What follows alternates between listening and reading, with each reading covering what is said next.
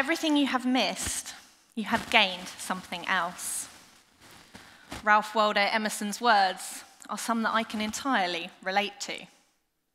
You see, what I lack in arms, I make up for in kidneys.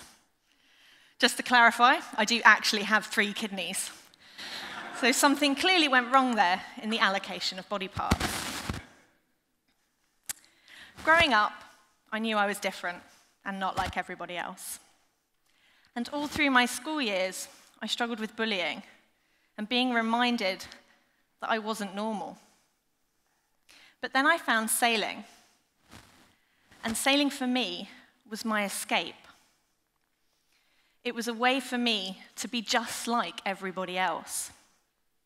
I could leave my disability on the shore. At age 13, I started racing on the 29er dinghy circuit as part of the British youth squad. Now, all through that time, I struggled with people's challenging perceptions of my capabilities. People were always so quick to judge, taking one look at me and assuming that things wouldn't be possible for me, without ever really giving me the chance. During one performance review, a manager told me that sailing wasn't my sport and that perhaps I should try table tennis. Fortunately, I'm stubborn, so when someone tells me I can't do something, it only serves to motivate me to prove them wrong. My time on the 29er youth squad was on the whole positive. But what it did mean was that from a young age, I formed the opinion that disabled sailing was the weaker option for me, something I wouldn't even consider. After all, I was aiming to get to the Olympics. When I was 15 years old, I was invited to a weekend of training with Andy Cassells, the Atlanta Paralympic gold medalist. Now, I wasn't keen. I absolutely loved racing the 29er. And not only had I proven that I could race against the able bodied guys, but I could beat them. That weekend, however, Andy completely opened my eyes and made me realize that my opinion of disabled sailing was all wrong. It's the same racing on the same race courses, around the same racing marks. It's just done by disabled people. A phone call from John Robertson would open up another door for me.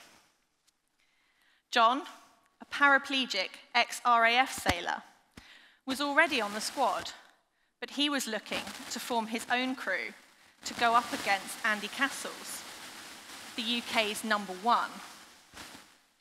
Now, for months, John and I searched for a third person to make up our crew. And we would eventually find one in a double leg amputee named Steve Thomas. We were together as a team for 16 years, and there were plenty of ups and downs on the way. Some of our highlights included winning the World Championships three times, having 17 World Cup gold medals to our names, and of course, representing Great Britain at four Paralympic Games Athens, Beijing, London, and Rio in our final Paralympic Games, Rio 2016, we really struggled to find our groove. And to be honest, the first two days of racing were an absolute disaster. We even finished last in one race. And then the magic day happened. I call it the click. The click comes into the boat, and there's no words no one's speaking, but yet everyone knows what's happening.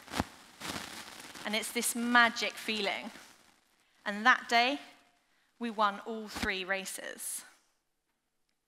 But sadly, that was as good as our Paralympics was going to get.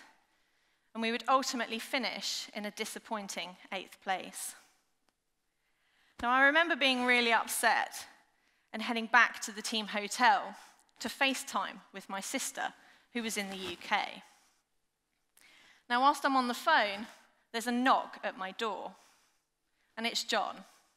He's coming to get one of my Aero chocolate bars. So he knows I've got a bit of a secret stash. Don't judge me. That week alone, I ate 48 Aeros. On returning to the phone call, I go to sit down at the desk. And the next thing I know, I'm on the floor. I've broken the chair. Now, my sister has obviously realized what's happened, and she's crying with laughter. Now, I'm crying with embarrassment because I'm such a fatty that I've broken hotel property. I think perhaps the Aeros were to blame. But it was in that moment, that cathartic moment, that amazing emotional release, that my sister said these words to me that have stuck with me ever since. Sometimes you just have to accept that God has another plan for you. And I think perhaps she was right. The Vendée Globe is the toughest, longest, most brutal ocean race there is. It's nicknamed the Everest of the Seas for a reason. Racing 24,000 miles around the world, non stop, without assistance, and perhaps the hardest bit, single handedly. Quite literally, in my case. On starting out on my campaign, I hadn't appreciated quite how many barriers would be put in front of me, how many walls would be built against me. Not least, people's opinions. From fellow sailors to potential sponsors, people were quick to question whether this crazy big ambition of mine was even possible. You see, to this day, no disabled sailor has ever taken on the Vendée Globe. And in the last edition of the race in 2016, out of the 30 entries, none were women.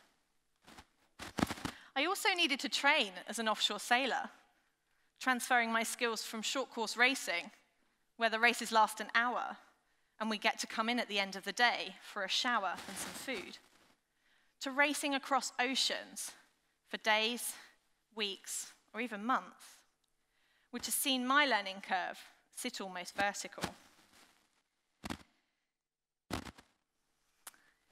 Starting out, I had no qualifications. So I had to go and get my yacht master qualification that would allow me to race these big boats offshore. I went to a sailing school on the East Coast to try and get my qualifications. Now, meeting the head of the sailing school for the first time was a bit of a rude awakening for me. I had wrongly assumed that with London 2012 and Channel 4's efforts to bring disabled sport to the forefront of everyone's minds, that seeing disabled people wanting to do more, wanting to achieve more, and be more wouldn't come as such a shock. But it did to this instructor. He wouldn't even entertain the idea of me doing my qualifications, stating quite simply, how would I even hold on to the boat, let alone sail it? What that man doesn't realize is that I would find a school that would teach me. And not only would I pass my yachtmaster exam, but out of the 3,000 people that take the exam every year, I would be the best. In 2018, I won the Yachtmaster of the Year award and was presented with the trophy by Princess Anne at the London Boat Show. Perhaps that man shouldn't have been so quick to judge me. Ellen MacArthur had a similar experience when she set out to do the Vendée Globe in 2000. One of the first things she was told was that she was too small to sail the 60 foot racing machines that are used in the race. But thanks to the support and backing of her sponsor, Kingfisher, she not only built a fast boat, she built a boat that was designed entirely around her physique. And what resulted was Ellen absolutely smashing the race and finishing in second place, which is still to this day the highest a woman has ever finished in the Vendée Globe. I have a similar attitude to the obstacles that are in my way. It isn't going to be about using brute force and ignorance to overcome them. It's going to be about thinking differently, thinking outside of the box, and using technology to help me sail my boat. Some great examples of disabled sailors already using technology include Geoff Holt, a quadriplegic who in 2009 sailed solo across the Atlantic. His boat was designed entirely around a wheelchair user. His onboard computers monitored and controlled everything, allowing him to sail with just the touch of a button. Then you have Natasha Lambert, a young athlete with cerebral palsy, who's already taken on some incredible sailing challenges, and who will later this year take on the Atlantic herself. She sails using a sip and puff system to helm the boat with just her breath alone. Her onboard computers control the sheet winches that adjust the sails. So when Natasha alters course greater than 15 degrees, her sails are automatically adjusted. Neither of these sailors would have had the chance to take on such massive and awe inspiring challenges without the technology there to support them. I believe sailing and racing will become more accessible and more inclusive with technology. And the people that have gone before me motivate me to every day break down those barriers and to push towards my dream of one day competing in the Vendée Globe. The future is ours. Technology has the ability to open up doors and to make anything possible. And I think most importantly, we've reached a moment in time where we can challenge people's perceptions. We can learn to not judge on first glance alone.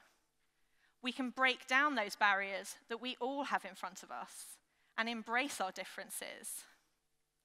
But of course, remember, don't judge a book by its cover.